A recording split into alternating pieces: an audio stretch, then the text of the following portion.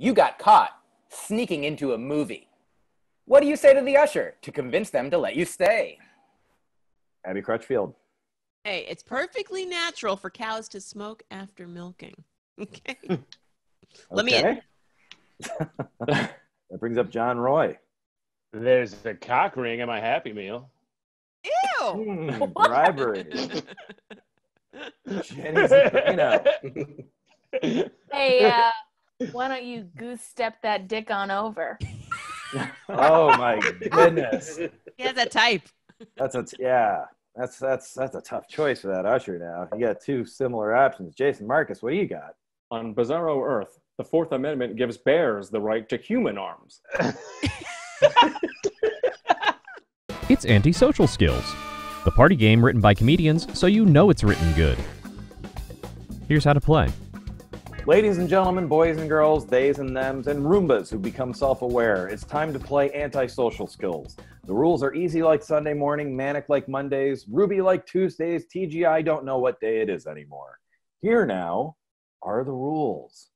You, the players, will navigate eight situations using lines written by America's funniest comics. Your mission? Use the lines to react to situations in the funniest way possible. So now, please log on to our website to play. The website is asskills.com. Again, that website is asskills.com. And click play now. You should see three situations and three possible responses for situations you encounter. The way it works is the judge reads the situation. For example, the judge might say, to end a fight over politics at Thanksgiving, you stand up and say, players get 10 seconds to pick a response from their hand and deliver it. For instance, they might say, I don't care about the evidence. I still think OJ's guilty. Then the player who read the situation picks the funniest response, and they get a point. Some of the situations have a challenge attached that everyone needs to do.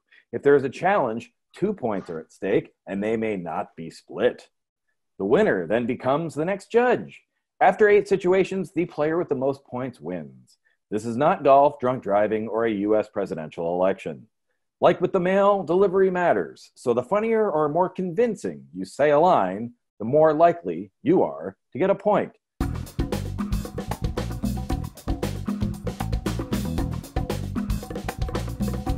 You go to an interview for your dream job, and your interviewer is your crazy ex. What do you say? While fake crying, John Roy. Sweet mother of Macaulay Culkin.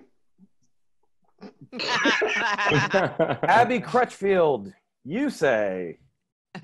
Why don't stamps ever lick us back?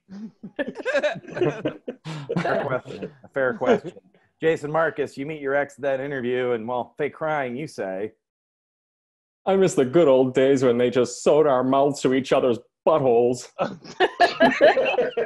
Your crazy ex understands. I think a reconciliation might be in the works. Here's Myq Kaplan, fake crying, saying to his ex and possible boss.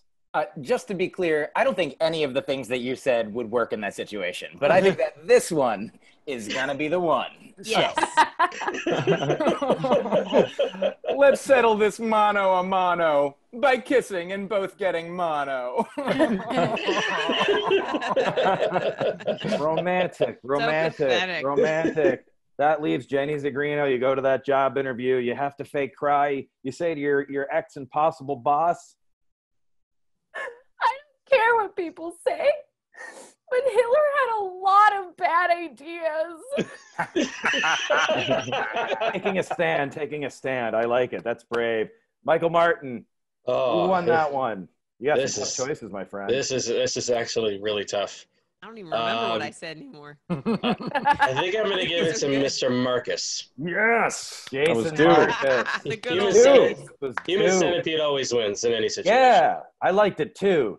It had some optimism about getting back together, reminiscing on the good old days. And you already made Yeah, some there's plans. it's definitely a lot of innuendo in that one.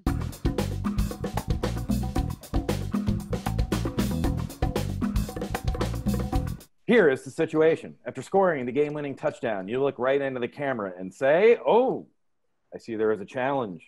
You must say your response with your worst British accent. Oh God. Oh, let me set you up again. After scoring the game winning touchdown, you look right into the camera and say, John Roy, with your worst British accent.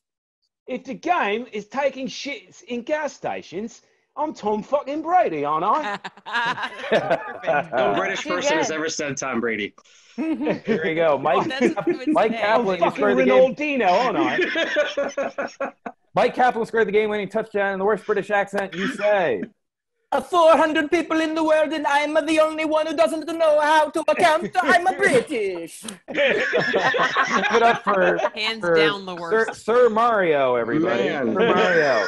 Here's uh, Jason Marcus scored the game winning touchdown. He has a bad British accent, and he said, Oh, bollocks, don't look at me. I voted for the blue M&M.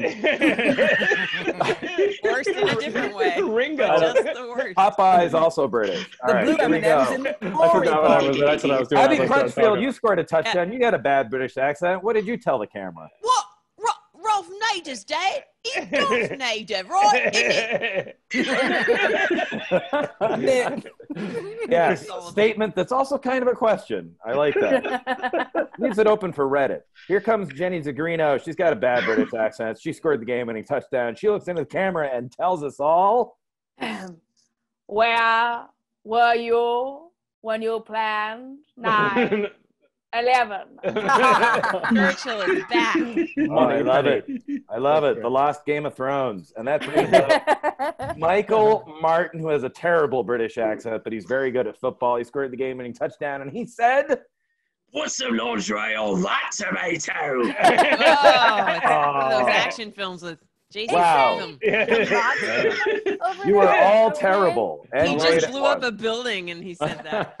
The say for that transporter. round, for that round, I give two points to John Roy. Congratulations, Yay. John Roy. Oh, blimey. Excellent job. Excellent job. Right out of the gate.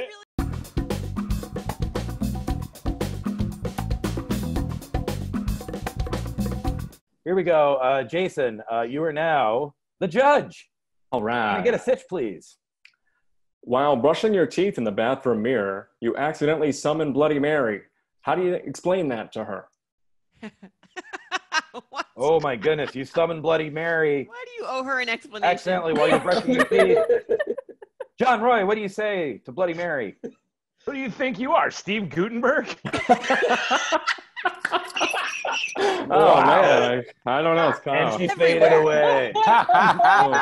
Now, I have to ask you, does, does she know the ghost that was in Three Men and a Baby? Are they friends? We'll talk about that later. Abbi Steve Crutchfield. Guttenberg's the only guy I expect to see in my bathroom mirror. That's true. Three men in a Abbi Crutchfield, you, you, you summon Bloody Mary while you're brushing your teeth, and you say to her, Hey, I'm a grown ass man, not a grown ass man. Okay? like that, a little bit of a curveball. Okay. She ought to know. She needs to recognize. Myq Kaplan. Myq Kaplan, you, you summon Bloody Mary while you're brushing your teeth, and you say to her, Don't eat where you shit. hmm, good point, good point. I don't want her to eat me, and this is where we both I, yes, yes, yes. We're on, we're on the She same only page. drinks herself. Also, don't shit where you eat is an expression, and so I just moved some of the words in it. Uh, does everybody understand everything that I intended now? Nope, we'll Oh, talk yes. later. Michael Martin. Michael Martin. You tell Bloody Mary when you summon her by mistake. I wish that just once I'd see a ghost who wasn't a kid. Interesting. Interesting. Just one time. That's just nothing but bad hmm. luck. Once. Just a mature ghost who knows knows what it's been around the block, right? Like a very elderly ghost. Yeah. What a kid's gonna know. It'd be nice.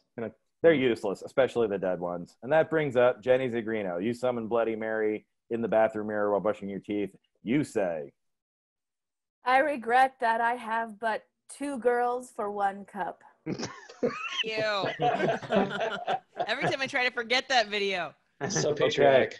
so I believe our judge was Jason Marcus. Am I correct? yes, I, I'm gonna go for sure. John Roy, uh, Oh. Steve Guttenberg. Oh. I mean, I- all, all, all credit goes to Guttenberg on that one. I was just. all, all uh, praise to Steve Guttenberg. Goots. Always. You were the a- Guttenberg. Always. Undo it. That was a good response.